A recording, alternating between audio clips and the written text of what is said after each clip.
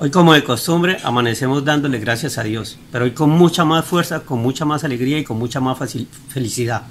Me acaban de entregar el resultado de mi tercer examen para COVID y gracias al Señor salimos negativos. Quiero entregarles esa buena noticia agradeciéndole a cada una de las personas que estuvieron siempre pendientes de mi salud, que siempre estuvieron ahí dándome mensajes de apoyo, de ánimo y nunca perdimos la fe y hoy es el resultado de que gracias al Señor ya estamos negativos quiero decirle a todos que estoy inmensamente agradecidos con el señor alcalde, con el señor secretario de salud, con todo el cuerpo médico de la ciudad que siempre estuvieron pendientes de mi salud.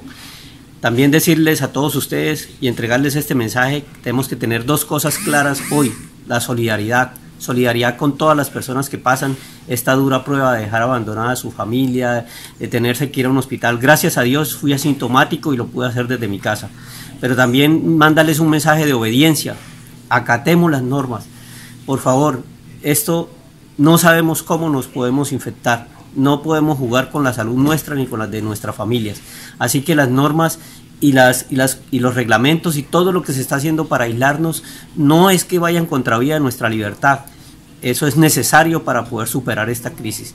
Y les quiero dar una respuesta. Seguiré, seguiré trabajando muy fuerte en el sector de la salud. Para mí las caídas no son derrotas, para mí las caídas son sinónimos de fortaleza, de oportunidad. Así que prontamente me van a ver nuevamente en los hospitales, me van a ver en los puestos de salud y claro que voy a estar comprometido con la salud. Dios me ha puesto esta dura prueba y esta experiencia tiene que servirme para seguir luchando por la salud de todos ustedes. Que Dios los bendiga. Hoy nuevamente puedo abrazar a mi familia. Muchas gracias a todos.